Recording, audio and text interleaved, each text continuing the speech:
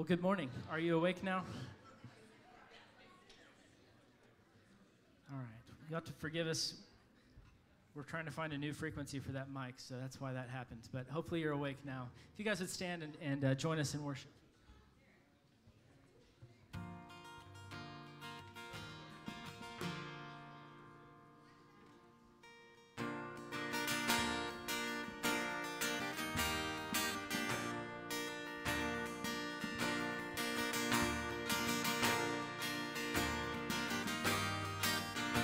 Alone in my sorrow.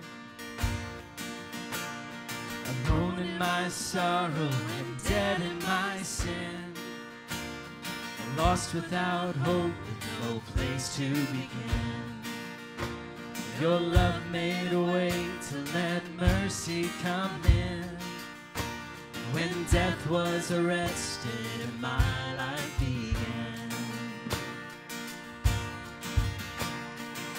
Ash was redeemed, only beauty remains.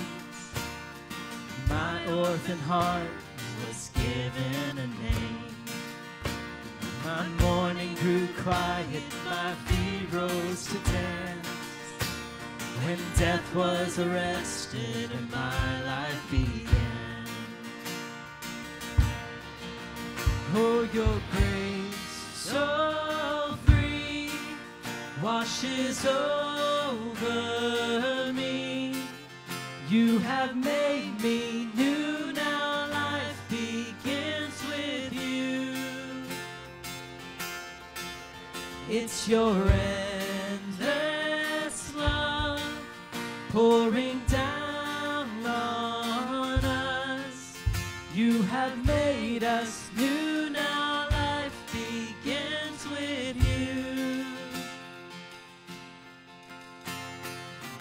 from my chains, I'm a prisoner no more. My shame was a ransom he faithfully bore. He canceled my debt and he called me his friend. When death was arrested and my life began.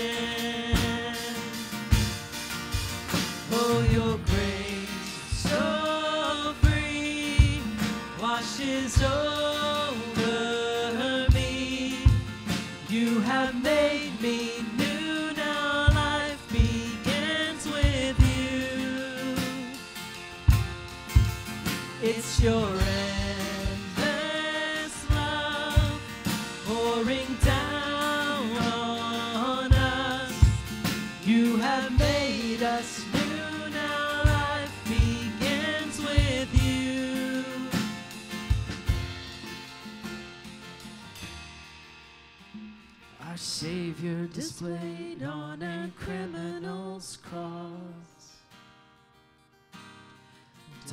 Darkness rejoiced as though heaven had lost.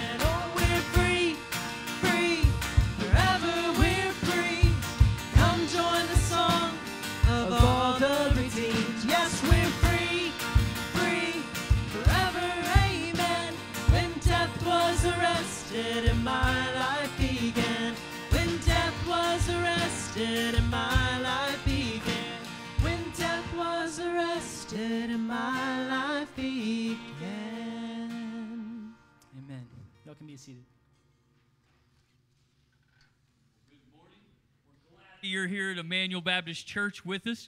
We just want to welcome you if you're a guest with us today.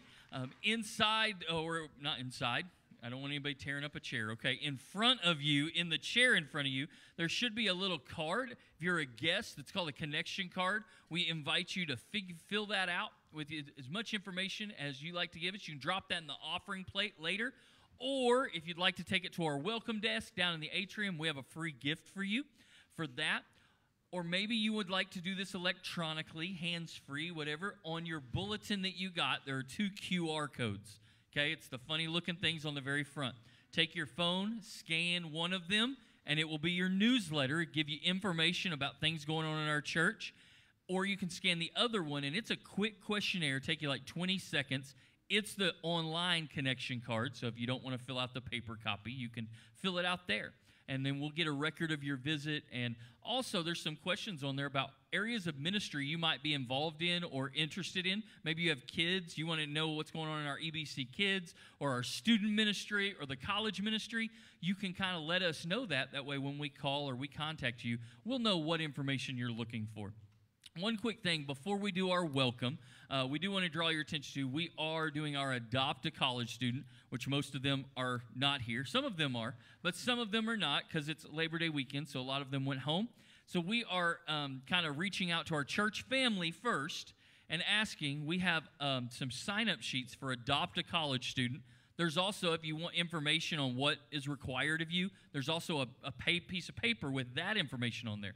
So, here in a second, when we do the welcome and we stand up and we greet everybody, if you'd like to go pick up one of those cards, fill it up, out during the service, you can drop it in the offering plate. That way, it gets back to the office to adopt a college student this year and be able to connect with them, take them out to lunch, send them goodies, just check in on them, things like that. I know we, uh, we're missing a keyboard player. And I checked up on her and she said, Hey, something was going on. I just wasn't feeling good today. And we're like, Well, we appreciate you staying home, but we want you to feel better, okay? So that's that's kind of what the things that you would do as an adopt a, a college student sponsor. So with that, we're gonna ask everybody to stand up, greet the people around you um, as much as you need to, and uh, have a great time. And we're so glad that you're here.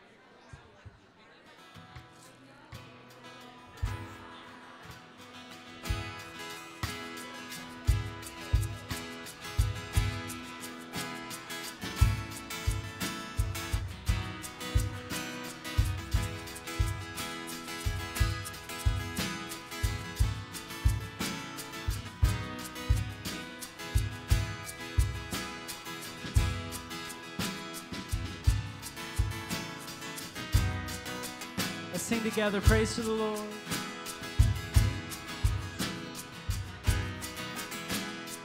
Praise to the Lord, the Almighty, the King of creation.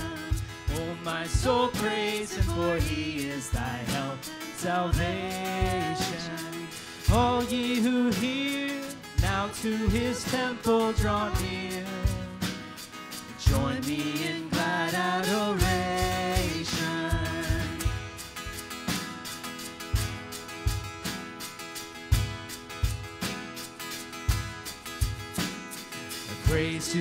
Lord who o'er all things so wondrously reigneth. Shelters thee under his wings, yea, so gently sustaineth. Hast thou not seen how thy desires have been granted in what he ordained?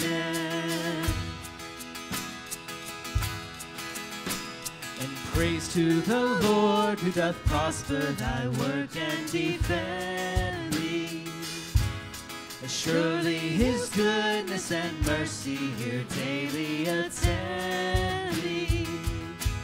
And ponder anew what the Almighty can do. If with his love he befriend thee. Praise to the Lord, oh let all that is in me adore him. And all that has life and breath come now with praises before him. And let the Amen sound from his people again. Gladly forever adore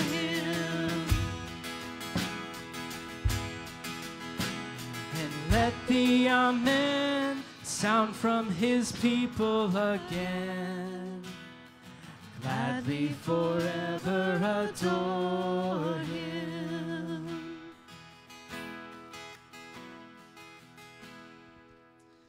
Amen. When we come into the presence of God and we sing his praises, we sing praise to the Lord, the Almighty, the King of creation.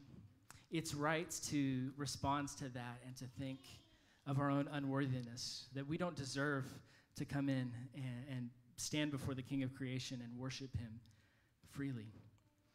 And uh, as I was looking through these songs this week, I was asked, or I, asked myself the question: How do we want to come before the presence of God in our own uncleanness and unworthiness?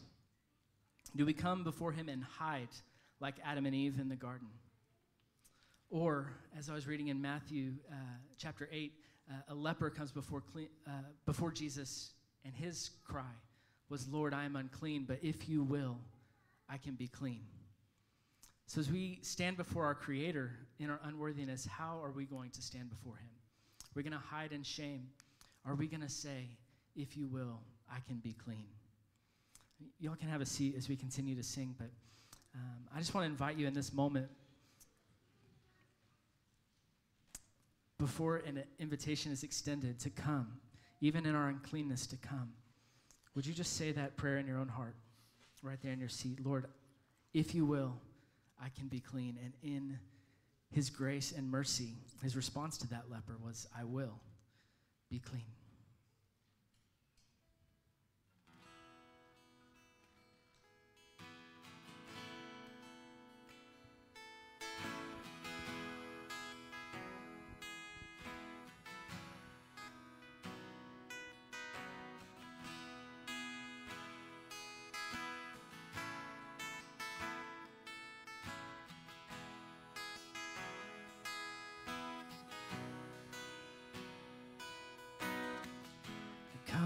Sinners, poor and needy, weak and wounded, sick and sore. Jesus ready stands to save you, full of pity, love and power.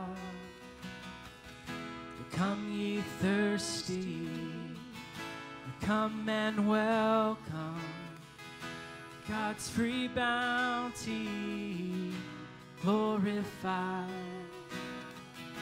True belief and true repentance. Every grace that brings you nigh. I will arise and go to Jesus. He will embrace me in his arms. And in the arms of my dear Savior,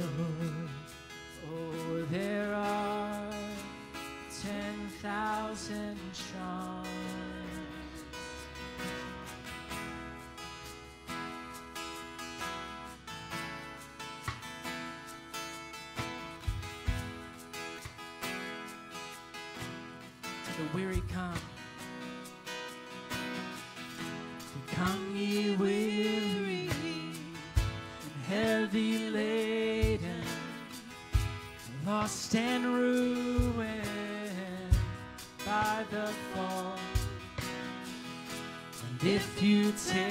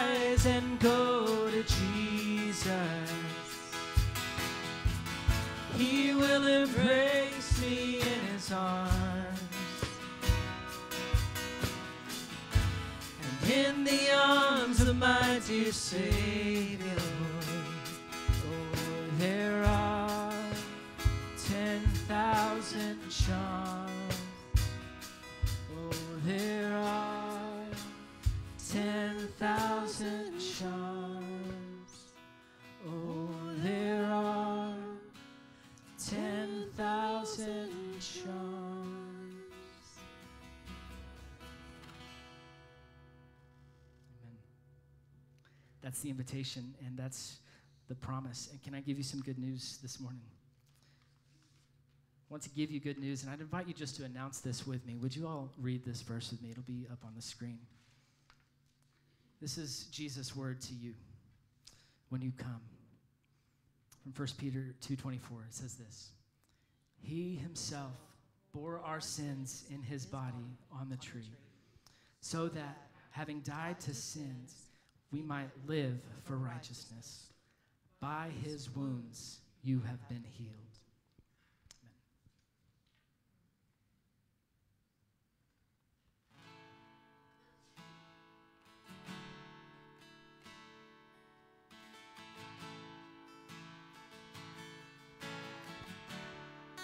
Will you stand and sing this song with me?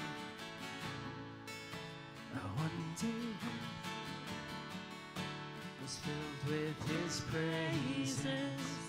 One day when sin was as black as could be, Jesus came forth to be born of a virgin, dwelt among men. My example is he.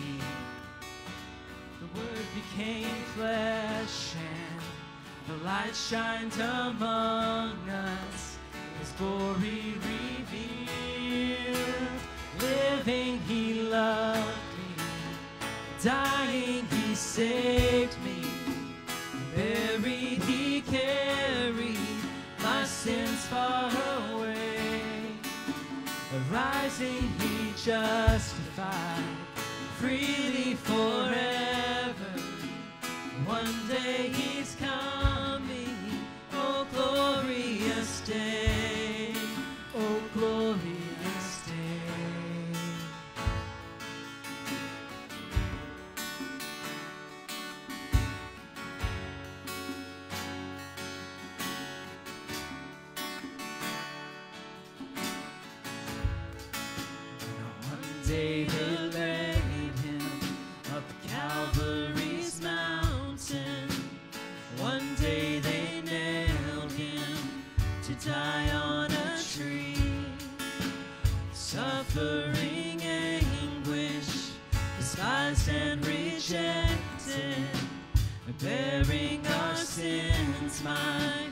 Redeemer is He.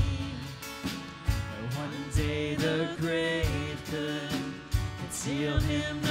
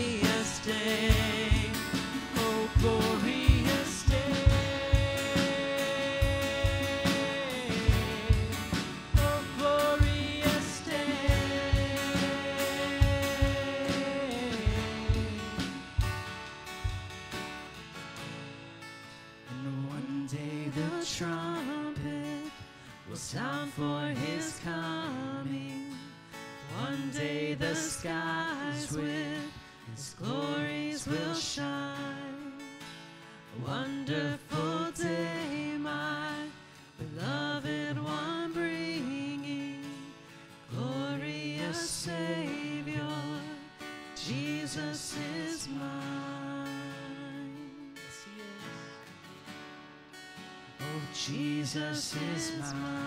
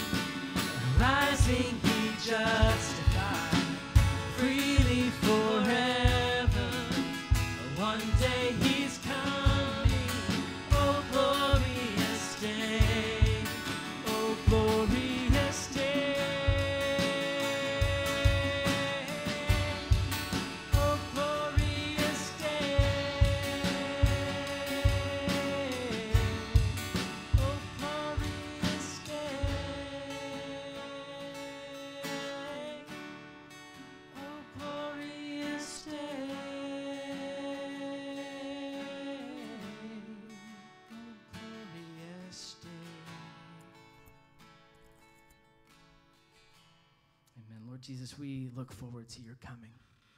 We say, Come quickly, Lord. Thank you for being near to your people. You're a Lord God, you're a King of the universe, King of creation. Your Spirit has breathed life into creation, and you're continuing to renew the face of the earth. Your Spirit breathed life into the scriptures. And so we pray this morning that you will continue to speak your word to us. Your Spirit breathes peace and comfort to the whole world. Lord, make that true here among us today. Through Christ's name, amen.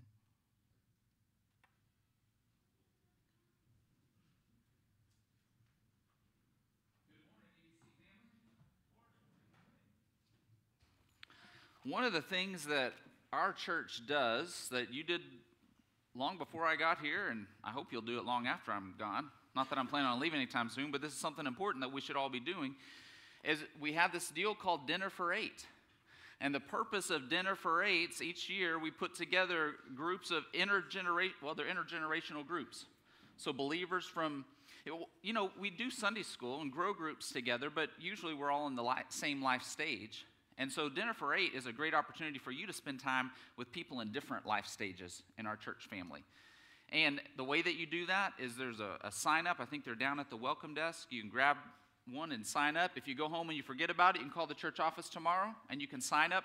And then next Sunday night, after, after our time together in here, then we're going to all go into the gym and have dessert together, and you're going to meet your dinner for eight group. And so then the, the purpose is once a month that you'll have dinner, or you'll have a lunch, or you'll just get together with this group of people and build some spiritual friendships with people that aren't in your normal circles here in our church family. So that's next Sunday night.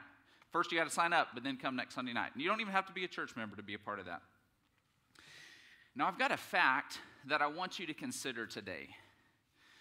Everyone, everyone who lived prior to the year 1900 is dead. Everyone who ever lived in the year before 1900, they're all dead now. And I say this to remind you that death is inevitable for every one of us. If the world continues on its present course, a hundred years from now, every one of us in this room will be dead or nearly dead, right? Some of us a lot sooner than that. I won't mention any names. But you know who you are. But, but that's a reality for all of us. A hundred years from now, we're all going to be gone. And yet, despite the inevitability of death, most of us are not comfortable thinking about it. Most of us don't want to talk about it. Very few people in our world today are good at handling the reality of death. Even when it happens to somebody we know, we want to move past it quickly. We want, so we, we want to put it as far from our minds as possible. So we fill our time with our free time with hobbies or entertainment. We fill our schedules with projects, anything to distract us from the reality of death. I read a story about a little girl named Zoe. Zoe was three years old and, and she had a pet turtle. And one day her pet turtle died, and Zoe was inconsolable. She just she couldn't stop crying. Her dad tried to reason with her. He said, "We can go to the pet store. We can get another turtle." That didn't make her happy. She wanted the turtle that she had. Finally, her dad had a brilliant idea. She said, "What if we what if we have a funeral for your turtle?" Now, being 3 years old, Zoe didn't know what a funeral was. So her dad explained. He said, "A funeral is it's kind of like a party to honor your turtle. He said, We can have ice cream and cake. We can get some lemonade and have some balloons. We can have all your friends come over and play. Zoe's tears dried up and she began to get excited about this party, this funeral party. And then the turtle moved. It wasn't dead after all. It started walking around like turtles do. Her dad didn't really know what to say, but, but Zoe did. With all the innocence of a three year old, she looked up at her dad and said, Let's kill it.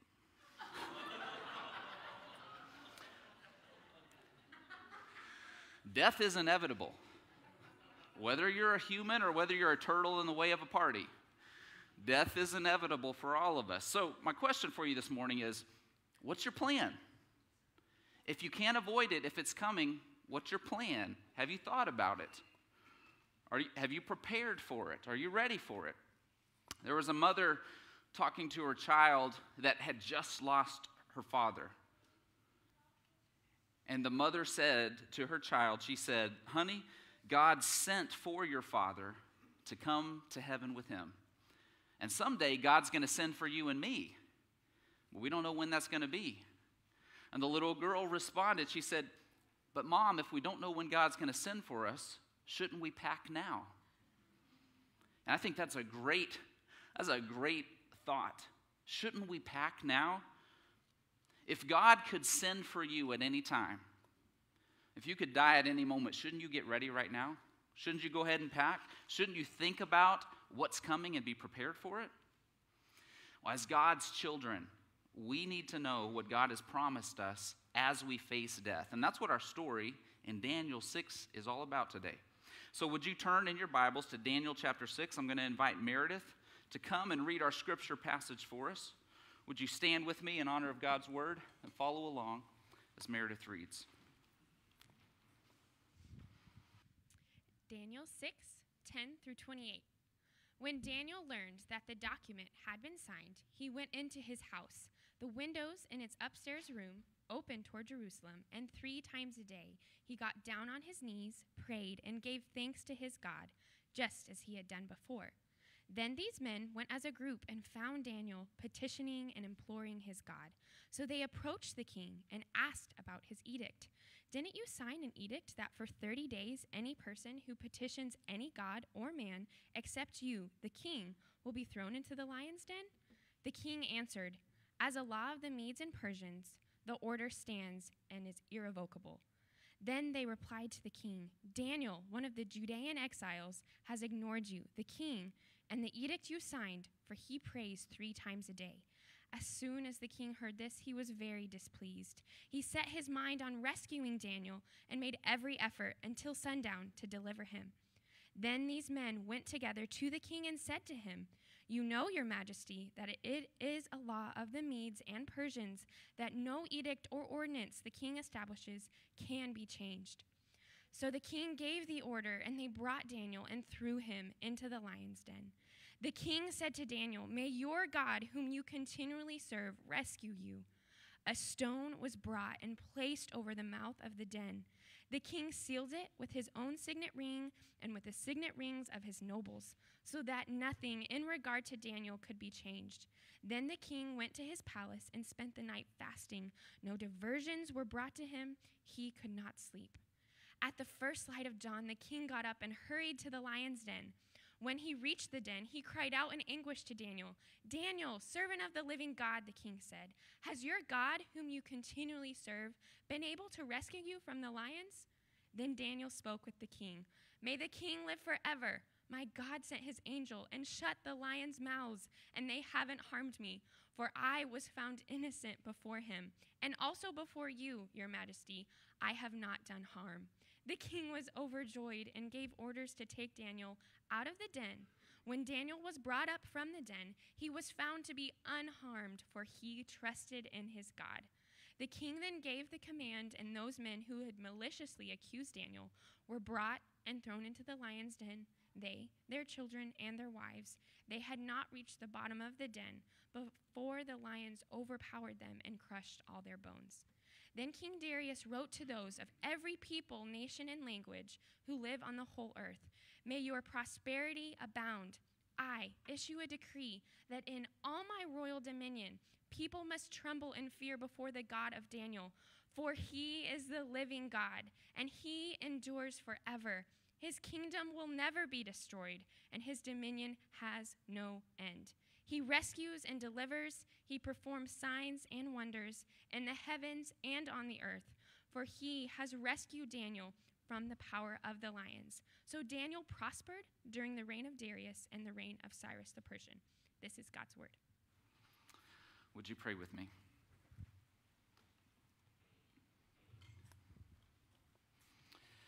Holy Spirit, I pray that you would guide us today into your truth. Teach us from your word the hope that God has provided and how we can live in light of that hope. In Jesus' name we pray. Amen. You may be seated. Daniel 6 contains one of the most famous stories in the Bible Daniel and the lion's den. And I want us to look at three aspects about this. So if you have a, a bulletin, a worship guide, and you're doing the fill in the blanks, here's the first ones number one, two, and three. Number one, we're going to look at the story, the story itself. Number two, we're going to talk about the point of the story, the point of the story. And then third, why it matters. Why it matters. So let's start by looking at the details of the story. So in verse 10, we see Daniel's faithfulness in the face of danger. It didn't matter what laws were passed, Daniel's allegiance belonged to God alone.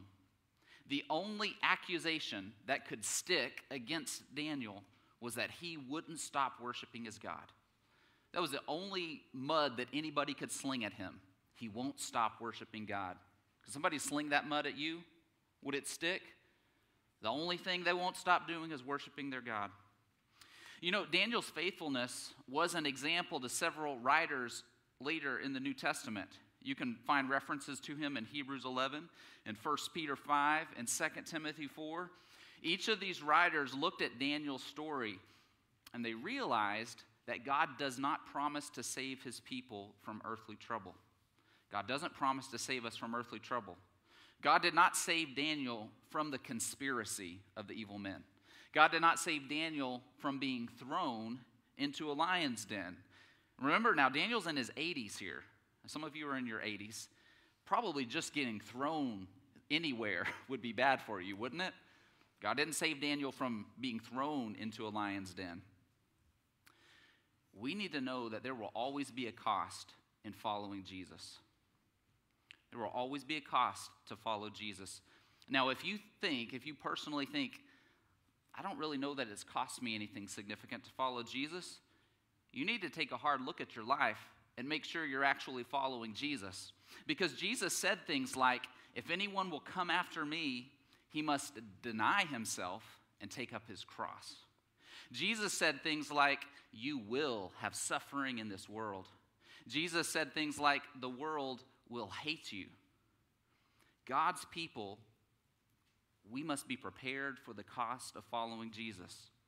There will be times in your life when God will lead you to turn your back on something that you want, to turn your back on something that's important to you to give something up to follow Jesus. Faithfulness to God will always cost us something.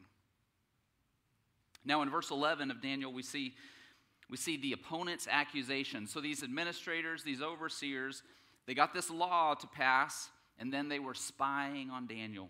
They're spying to see if he would pray to his God. And as soon as they see it, they go tell the king. Tell him Daniel's disobeying the new law. And in verse 13, you might miss it, but there's actually an ethnic slur in verse 13. They say about Daniel that he's one of the Judean exiles.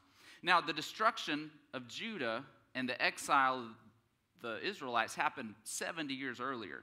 There was no reason to bring that up except to point out that Daniel wasn't one of them. They felt like Daniel didn't belong. Their prejudices revealed. They weren't just accusing Daniel for what he'd done, they were accusing him because of his race. Daniel was the victim of racial hatred and envy, which many Jews have been throughout history. And in verses 14 through 20, we see the king's distress. King Darius realized he's been tricked. And it, did you notice what it says? It says he set his mind to rescue Daniel. He went all out to figure out a way to get Daniel out of this, but he was backed into a corner.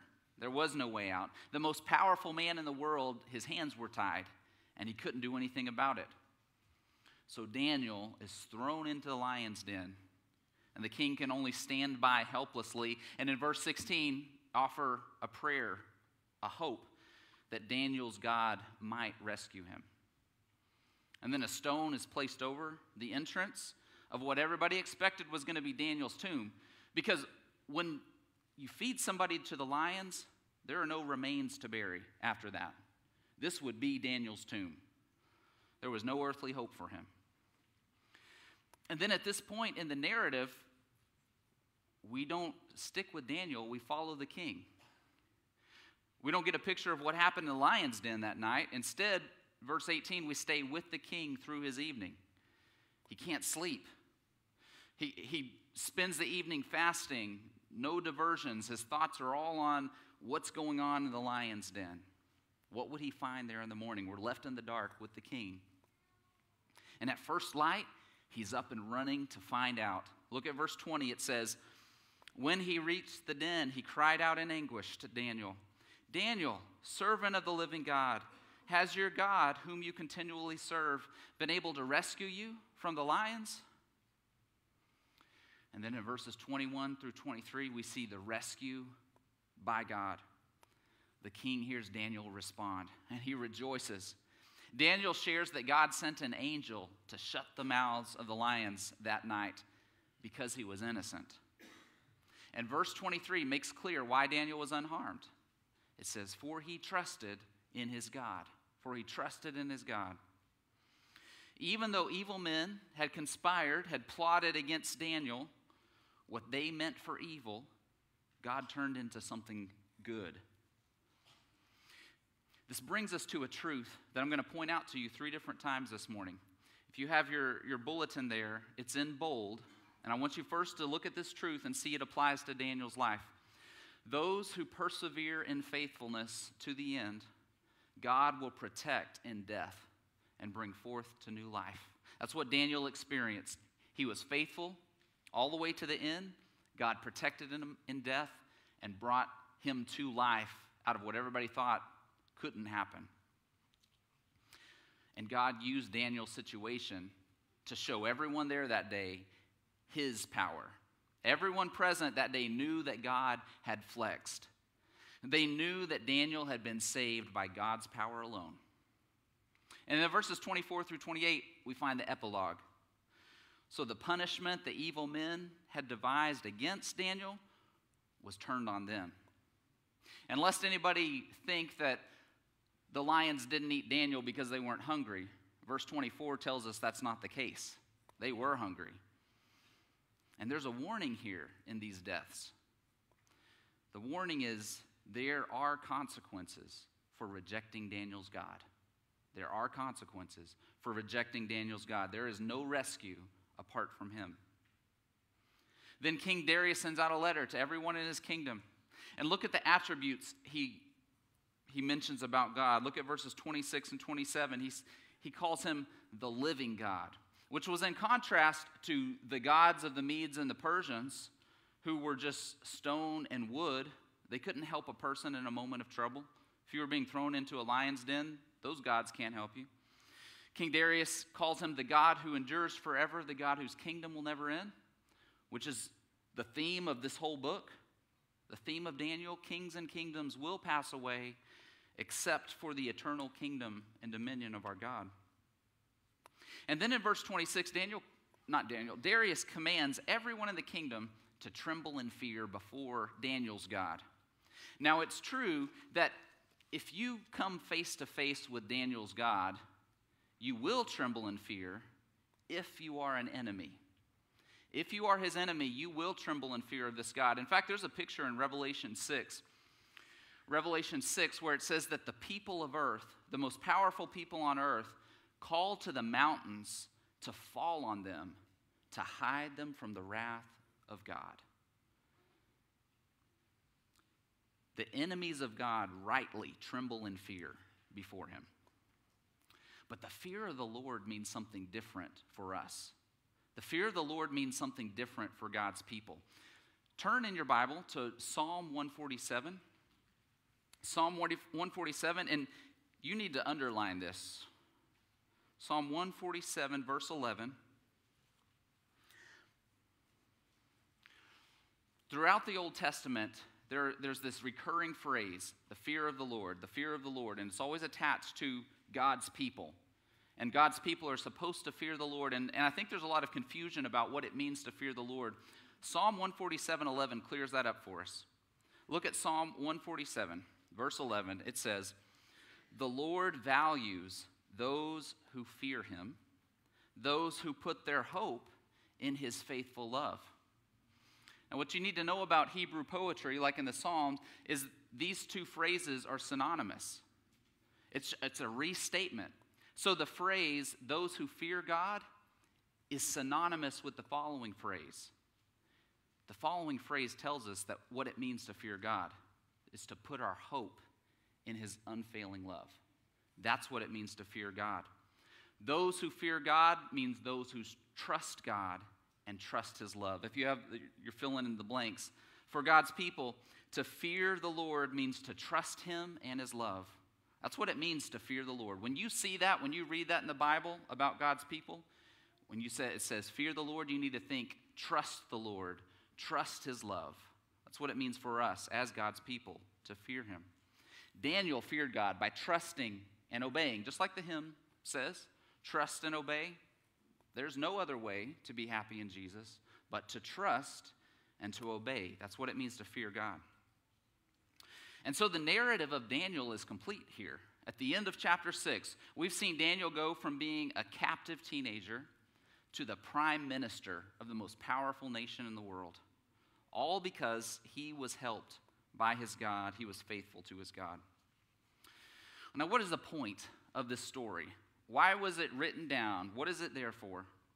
Well, it was written to remind us of this truth. We need to know that God rescues his faithful servants. God rescues his faithful servants. Verse 23 made that clear why Daniel was saved his faithfulness. This story emphasizes, actually, all the stories, the first six chapters of Daniel, emphasize that God can deliver where man cannot.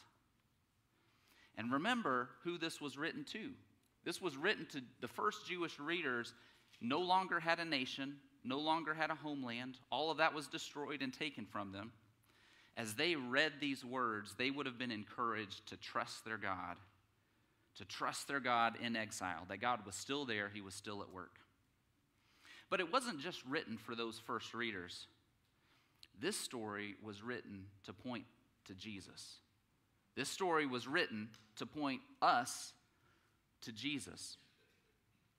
There's this, this passage in Luke 24. So, after Jesus has been crucified and he's risen from the dead, he's visiting with some of his disciples. You read this in Luke 24 27. And it says, Then beginning with Moses and all the prophets, Jesus interpreted for them the things concerning himself in the scriptures. Jesus took the prophets, which Daniel is one of the prophets, and he showed his disciples how the book of Daniel is about him. How is it about Jesus? Because Daniel, as a faithful servant, is a prototype of God's faithful servant to come, of the greater Daniel, the greater servant to come. And there are a lot of parallels between Jesus' experience and Daniel 6. But Jesus was a little different. Okay, so Daniel here in chapter 6, he was falsely accused by jealous men. He was sentenced to death, but then he was rescued. He didn't actually die. But there was no such rescue for Jesus. Jesus was falsely accused by jealous men. Jesus was sentenced to death. But then he was handed over soldiers to be beaten and tortured and crucified. No angel showed up to stop the mouths of the lions on Jesus' behalf that day. Daniel might have faced the trauma of a near death experience. Jesus was actually tortured all the way to death. Now, as I've already mentioned, Daniel 6 tells us that Daniel was rescued because he was innocent because he trusted God. But Jesus was more innocent than Daniel was. Jesus trusted God further than Daniel did, and yet he wasn't rescued. He wasn't rescued. But the reason that Jesus wasn't rescued is so that all of us could be. There's a, there's a place, I think it's when the crowd comes to get Jesus in the Garden of Gethsemane, and he tells his disciples, If I wanted to, I could call on legions of angels right now to come and put a stop to this. He had the power to get out of it. He didn't. Because if he didn't go through with that, none of us could be rescued. But because Jesus wasn't rescued, all of us can be. And when Jesus was on the cross, he quoted Psalm 22. Psalm 22 begins, My God, my God, why have you abandoned me? I'd encourage you to read Psalm 22 today and note there, there's a myriad of predictions and prophecies about Jesus' crucifixion in Psalm 22. But of particular interest for us this morning is verse, is verse 13, which says, They open their mouths against me, lions, mauling and roaring. And verse 21, Save me from the lion's mouth. Jesus faced the lion's den, but no one came to save him. And just like in Daniel's story, a stone was placed over the entrance of Jesus' tomb. They placed a stone over his grave, sealing him in, closing the chapter on Jesus of Nazareth, or so they thought. But it wasn't the end for Daniel, and it wasn't the end for Jesus. Because not only does Daniel point us, his trouble and suffering point us to Jesus, but the way God rescued Daniel points us to the way that God resurrected Jesus. The early church fathers, Daniel 6 was one of their favorite passages to preach the resurrection from. Because what looked like a death, sealed with a stone, was turned into the miraculous triumph of God. Same picture, Daniel 6 and Jesus' resurrection. Now, I want you to look back at that statement in bold on your bulletin, and now I want you to realize that it applies to Jesus. Those who persevere in faithfulness to the end, God will protect in death and bring forth to new life. That's what Jesus experienced. Jesus was raised from the dead.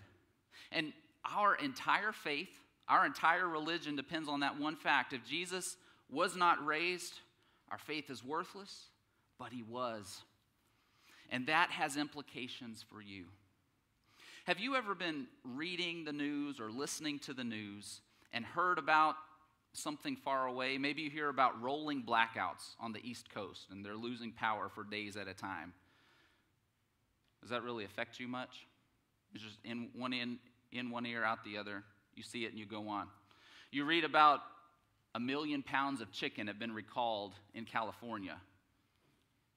It's in one ear, out the other. Not a big deal, doesn't affect my daily life. All that kind of thing, it's just information without any implications for us. But what if you heard on the, on the news this week that the power grid in western Oklahoma was going to be down for three days this week? Would that change your life? Yeah? What if you heard that all of the chicken in Oklahoma was contaminated? That have any effect on you?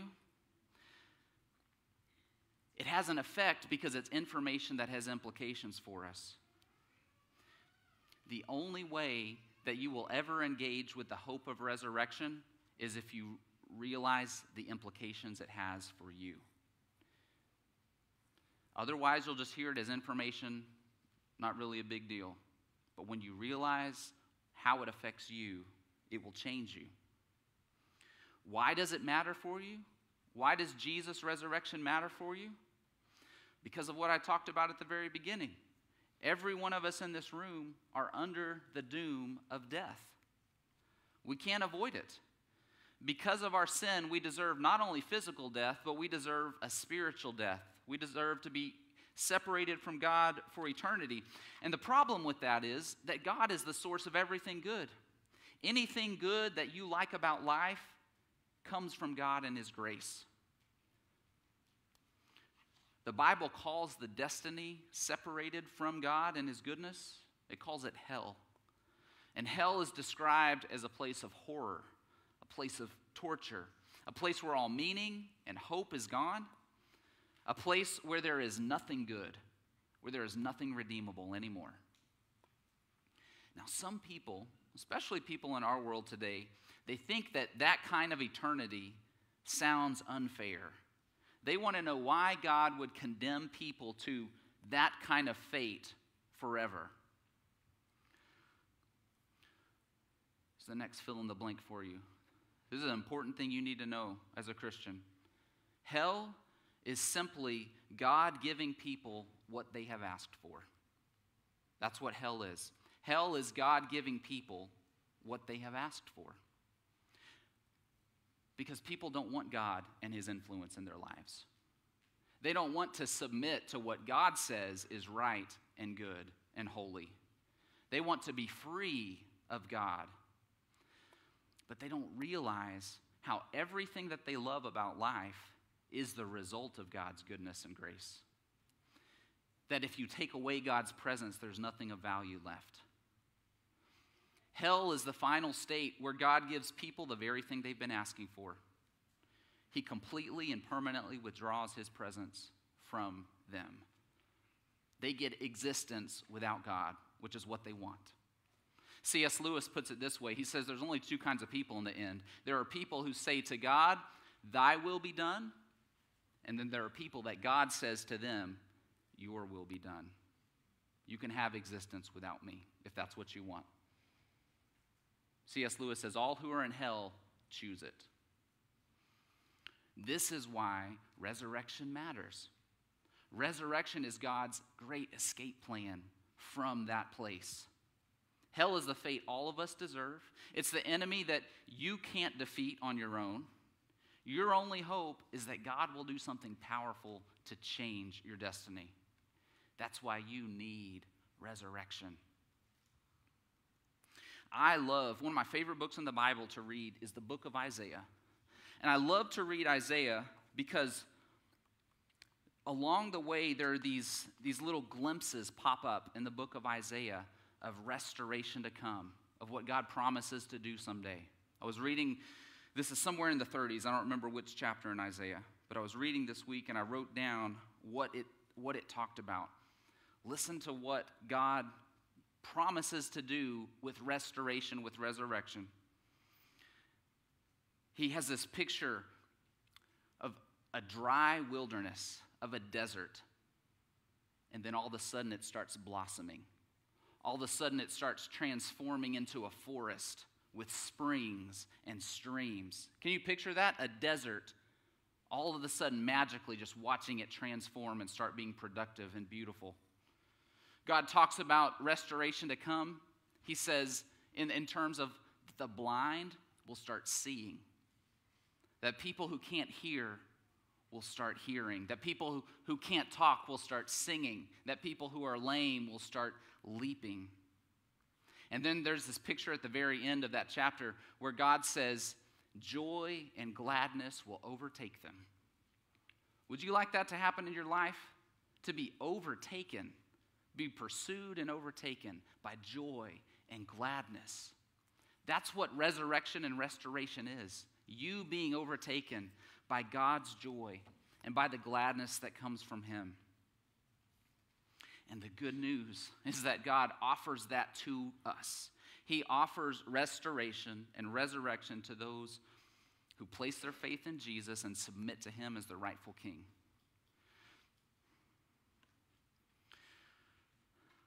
Physical death is the end game for all of us. And you can either face it alone or you can face it with the one who defeated it. 1 Thessalonians 4 puts it this way it says, For if we believe that Jesus died and rose again, in the same way, God will bring with Jesus those of us who have died. Jesus will descend from heaven with a shout, the archangel's voice, the trumpet of God, and then the dead in Christ, those who have trusted him because they're in Christ, the dead in Christ will rise first. When Jesus comes, he's going to rescue us completely from the power of sin, from the presence of sin, and even from death. And that's such good news. The king's words to Daniel in chapter 6, verse 16, will be true of us. Our God, whom we continually serve, will rescue us. And God will be the hero. We can't take any credit for it. You've, you've all seen probably the first Star Wars movie. Princess Leia is sending out a message to Obi Wan. She says, Help me, Obi Wan Kenobi. Why? You're my only hope. Your only hope is Jesus and resurrection in Him. That's it. If you put your hope anywhere else, it will, you will be disappointed, and actually, more than that, be destroyed. Your only hope is Jesus and resurrection. So I want you to look one last time at that bold statement on, on the bulletin. That bold statement is true about you. Those who persevere in faithfulness to the end, God will protect in death and bring forth to new life. And since resurrection is true for us, we can live with joy and power today. It, nothing in this world is able to permanently steal our joy. Since resurrection is true, any of us could be thrown into a lion's den and not have to fear it. Any of us could be called by God to love difficult people and not demand that they reciprocate. Any of us can give away our money in eye popping proportions.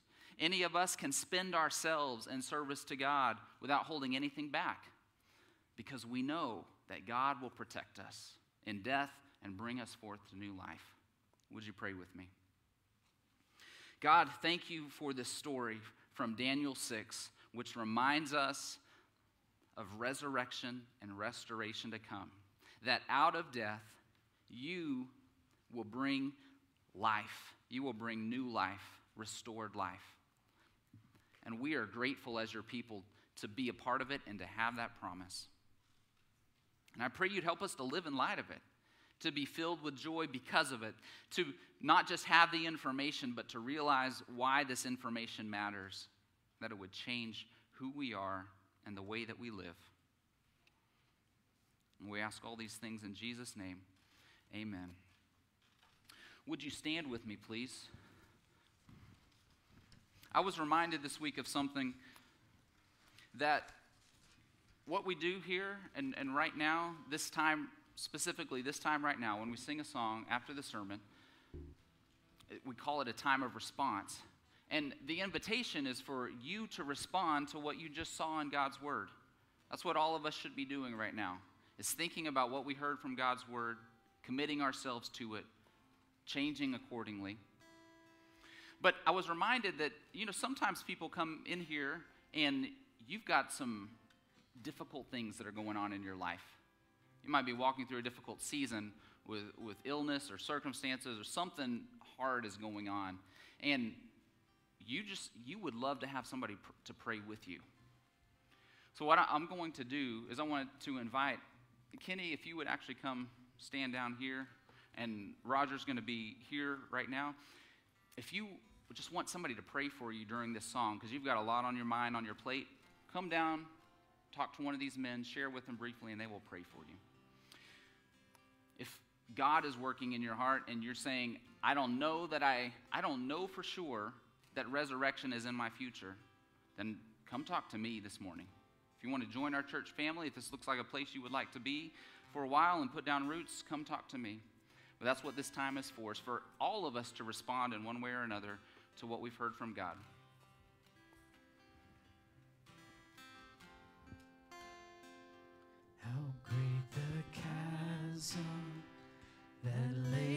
Between us, how high the mountain I could not climb. In desperation, I turned to heaven and spoke your name into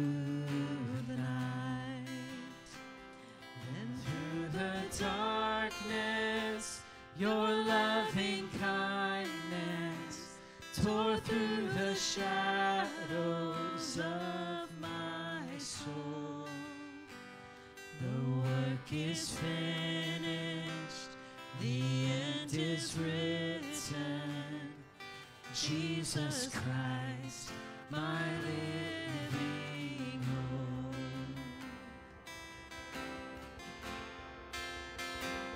Who could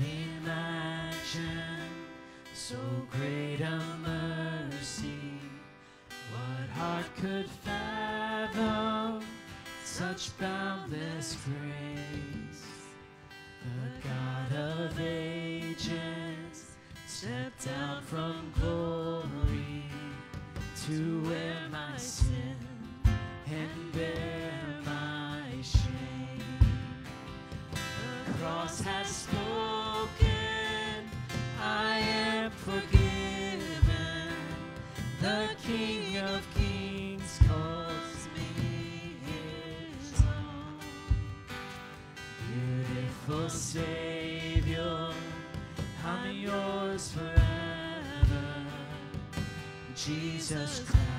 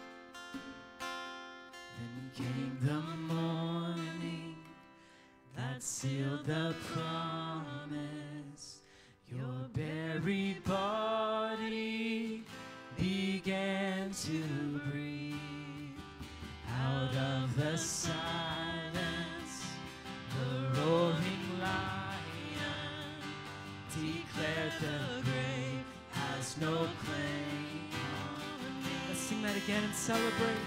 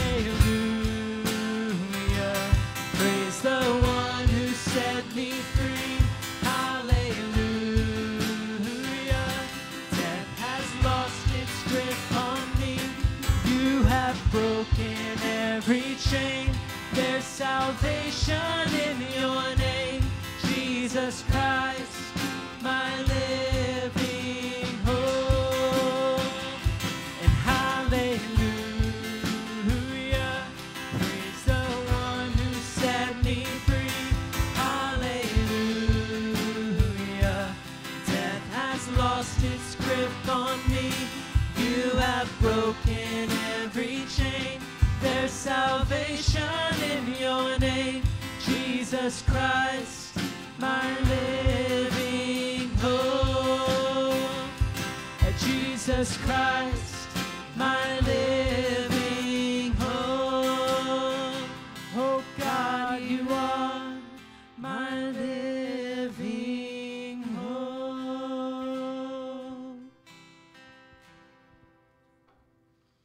Amen. That's something to celebrate. Y'all can be seated at this time. I'd ask our ushers to come forward for the offering.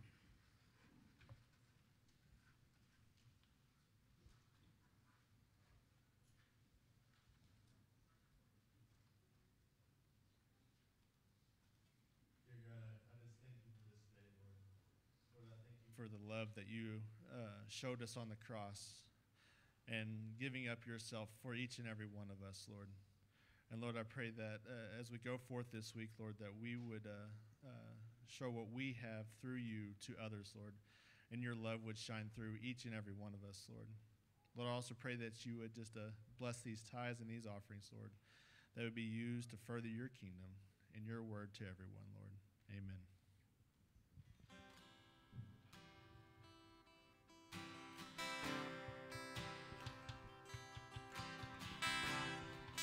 Sing with me, there is no other.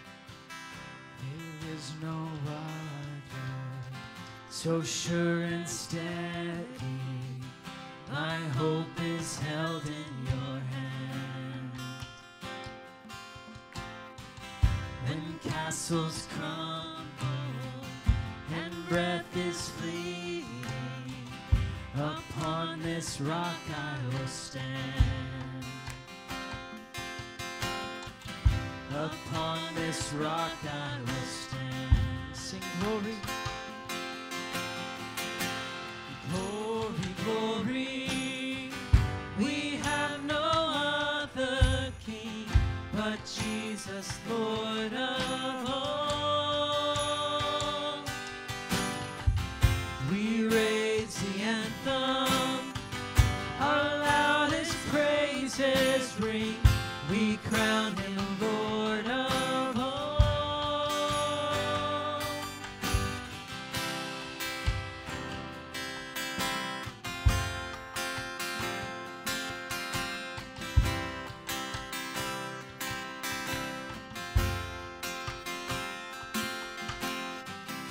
Your kindly rule has shattered and broken.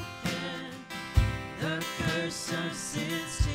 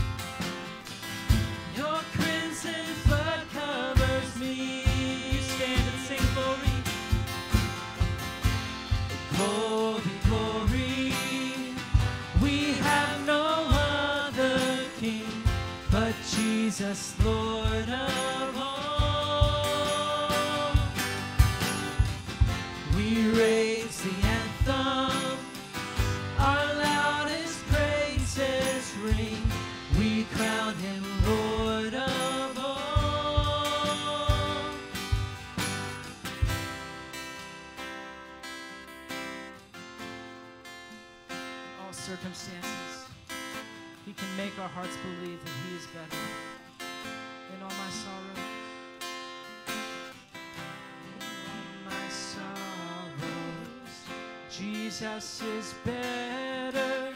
Make my heart believe every victory, in every victory. Jesus is better. Make my heart believe. And any comfort, Jesus is better.